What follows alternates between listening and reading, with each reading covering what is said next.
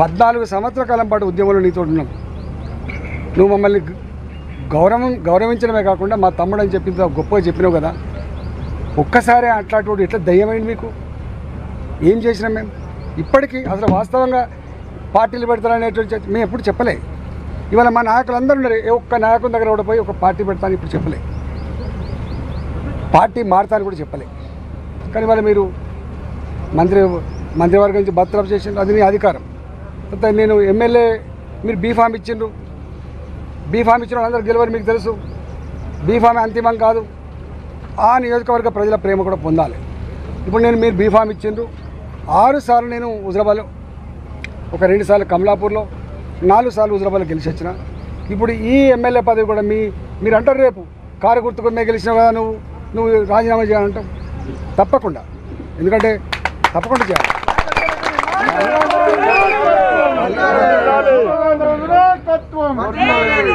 తప్పకుండా చేయాలి. చేసే ముందు ఇరవై ఏళ్ళుగా నన్ను ఎత్తుకొని నన్ను మోసిన ప్రేమించిన నా హుజరాబాద్ ప్రజలు ఉన్నారు కాబట్టి వాళ్ళ సార్ ఒకసారి మాట్లాడి వాళ్ళ సలహాలు సూచనలు తీసుకొని వాళ్ళ ఆశీర్వాదం తీసుకొని ఏం చే ఏం చేయాలమ్మా ఏం చేయాలన్నా అని అడిగి ఏం చేయాలా అమ్మ అని అడిగి ఏం చేయాలి తమ్మి అని అడిగి ఏం చేయాలని అడిగి తప్పకుండా నిర్ణయం తీసుకుని ప్రయత్నం చేస్తాను ఈటల అంటాడు పదవుల కోసం పెదవులు మూసాడు కాదు. ఎప్పుడు కూడా ఒక్కడ మీరు గమనించాలి తెలంగాణ ఉద్యమం దేనికోసం పుట్టింది? కేవలం అభివృద్ధి మాత్రమే కాదు మీరు ఒకసారి నినాదం ఇచ్చింది అభివృద్ధి మాత్రమే ఆత్మగౌరవానికి ప్రత్యామ్నాయం కాదు అని. నేను ఇలా అప్- మీ- మీరు మీ నాయకత్వం నాకు పదవులు రావచ్చు. ఈ స్థాయికి ఎదగవచ్చు నేను మీ మీ శిష్యరికంలోనే ఈ స్థాయికి ఎదిగినమాట వాస్తవం. టీఆర్ఎస్ గులాబీ జెండా కింద టీఆర్ఎస్ పార్టీ లక్షల మంది కార్యకర్తల ఆశీర్వాదంతో మీ ఆశీర్వాదంతో నేను ఈ స్థాయికి ఎదిగినమాట వాస్తవం. లేకపోతే మామూలు పోల్ట్రీ ఫార్మాలిటీ ఎవరు గుర్తించడం కాదు. ఒక ఇండస్ట్రీస్ వేల కోట్ల గుర్తింపు రాదు. ఇవాళ మీ నాయకత్వంలో మీరు ఆనాడు ఏదో రాష్ట్రం వస్తుంది ఎమ్మెల్యేలు అవుతాము మంత్రులు అవుతాం అని చెప్పి రాలే. మేము వచ్చినాడు ఓ ఎమ్మెల్యేలం అవుతాం ఓ ఎంపీలం అవుతాం ఓ మంత్రులం అవుతాం అని రాలే. మీ మీ దగ్గరకు వచ్చింది. ఒక మంచి కాజ్ ఒక మూడు తరాలు ఇడ్లీ సాంబార్ గోబ్యాక్ ఉద్యమం కావచ్చు. అరవై తొమ్మిది ఉద్యమం కావచ్చు. ఆ తదుపరి వచ్చిన ఉద్యమాలు కావచ్చు. ఇవన్నీ నడిచినాయి అయిపోయినాయి. మీరు మళ్ళీ స్టార్ట్ చేసిండ్రు. మేమంతా ఉద్యమ స్వభావం కలిగినటువంటి నాయకులం కాబట్టి చైతన్యవంతమైన వాళ్ళం కాబట్టి మేము అమ్ముడు పోని క్యారెక్టర్ ఉన్నవాళ్ళం కాబట్టి ఆనాడు మీతో ఉండి ఎన్ని ఇన్ని వచ్చినా కూడా మీతో ఉన్నాం కదా. ఇవాళ మీతో పాటుగా ఇన్ని సంవత్సరాలు మేము ఉద్యమం చేస్తే ఇవాళ మీరు మాకు ఇచ్చే అసలు మీతో పాటు ఎన్ని ఎన్ని వేల సార్లు పువ్వు తిన్నాం ఎన్ని లక్షల సార్లు వచ్చేసినాం తెలంగాణ భవన్ ఆక్రమించుకుంటాను రాజశేఖర రెడ్డికి మనుషులు పంపించంటే కాపల పనం కదా మీతో పాటుగా. మిమ్మల్ని కాపలా కాసుకున్నాం మేము.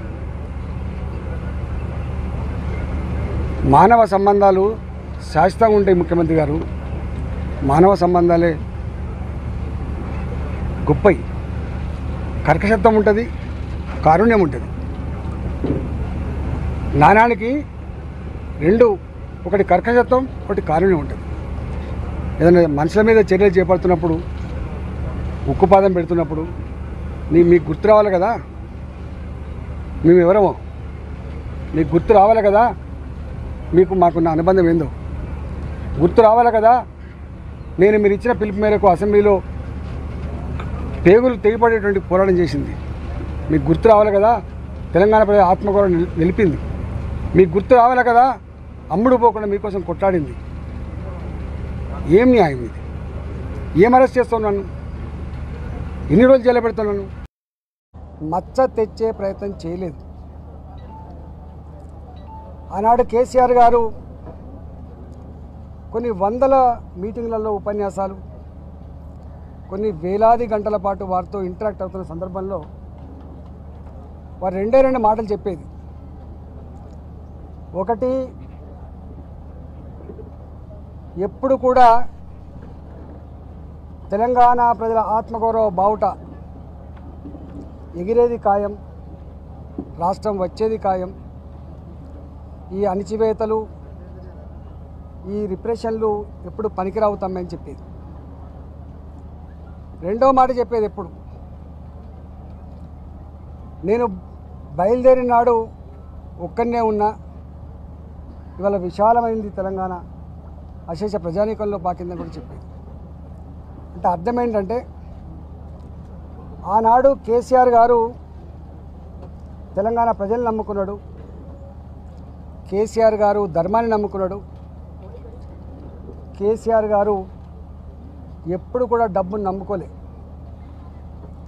ఎప్పుడు కూడా అధర్మం వైపు పోలే ఎప్పుడు కూడా అణచివేతకు భయపడలే.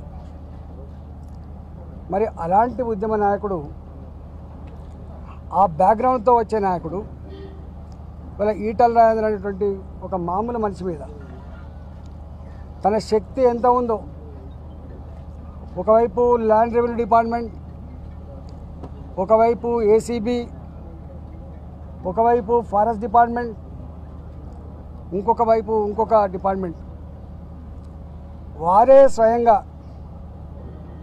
ఇవాళ నర్సాపూర్ నా పోల్ట్రీ ఫామ్ ఉండే ఏరియా కాబట్టి అక్కడ ఎమ్మెల్యే గారు కావచ్చు అదే జిల్లాకు సంబంధించినటువంటి ఎమ్మెల్సీ గారు కావచ్చు ఇతర నాయకులను పిలిపించుకొని ఈటల రాజేంద్ర గారి భూములు అసైన్ భూములు అట కదా అక్రమంగా ఆక్రమించుకున్న భూములు అట కదా అని చెప్పి చర్చోపచర్చలు పెట్టి ఇవాళ ఇలాంటి పనికి ఇలాంటి రాతలకు ఇలాంటి ప్రచారాలకు ఒడిగట్టడం అనేది ఆయన గౌరవాన్ని పెంచదు.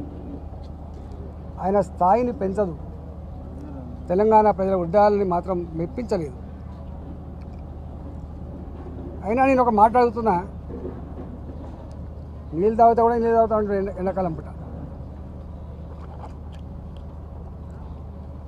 ఎండాకాలంలో నీళ్ళు తాగుతా కూడా నీళ్ళు తాగుతుండు నీళ్ళు నమ్ముతున్నా మాట్లాడుతున్నాడు. గట్ల రాసిన పత్రికలు. నేను ఒక్కటే వారిని అడుగుతా ఉన్నా నీతో ఒకసారి అడుగులో అడుగు వేసిన తర్వాత ఏనాడు కూడా ట్వంటీ ఫోర్ బై సెవెన్ అయితే పల్లెల్లో ఉన్నాం. లేకపోతే ఉద్యమ పిలుపులో రోడ్ల రోడ్ల మీద ఉన్నాం. లేకపోతే మీ దగ్గరనే ఉన్నాం మేము.